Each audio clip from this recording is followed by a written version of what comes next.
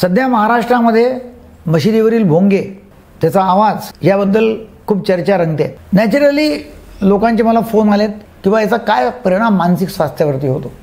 मला कल्पना असेल की सत्तर डेसिबलच्या वर जर आवाज असेल त्याची तीव्रता असेल तर आपल्याला त्यापासून नुकसान होऊ शकतं कानाला नुकसान होतं बहिरेपणा येऊ शकतं. जशी जशी तीव्रता वाढत जाते सत्तर डेसिबलच्या वर तसं तसं कानावरती दुष्परिणाम होऊन जातो.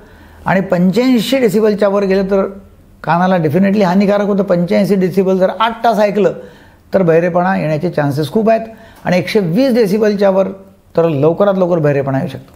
हे तर झालं कानाचं. पण आपल्याला हे पाहायला पाहिजे की मानसिक स्वास्थ्यावरती काय परिणाम होतो. आपला मेंदू आहे ना नेहमी आवाजाचं निरीक्षण करत असतो अगदी झोपेतसुद्धा आणि धोक्याचा आवाज जो आहे तो आवाज मेंदू लगेच ओळखतो की कुठून धोका आहे.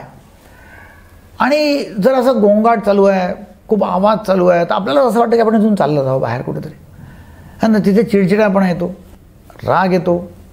असं आढळून आलेलं आहे की ज्या ठिकाणी खूप गोंगाट आहे अशा ठिकाणी जेव्हा लोक काम करतात किंवा आजूबाजूला गोंगाट ज्या ठिकाणी आहे जिथे राहतात त्या ठिकाणी डेफिनेटली लोकांना चिंता ताणतणाव निराशा या जास्त प्रमाणात आढळून आलेल्या आहेत. ज्या ठिकाणी गोंगाट जास्त आहे आवाज जास्त आहे त्या ठिकाणी लोकांचं कॉन्सन्ट्रेशन कामामध्ये होत नाही. प्रॉडक्टिव्हिटी कमी होते उत्पादन क्षमता कमी होते. आणि हे लोक मानसिकदृष्ट्या केव्हाही तुटू शकतात. तसं या लोकांमध्ये ज्यांना जे जास्त एकसारखा आवाज ज्यांच्या कानावर पडतो आणि ज्याच्यामुळे त्यांना म्हणजे ध्वनी प्रदूषण होत असतं त्या ठिकाणी स्टडीजमध्ये असं पण आढळून आलेलं आहे की हृदयविकार त्यांना जास्त आढळतो. ते डेफिनेटली जास्त आवाजाचे गोंगाटाचे हे दुष्परिणाम आहेत.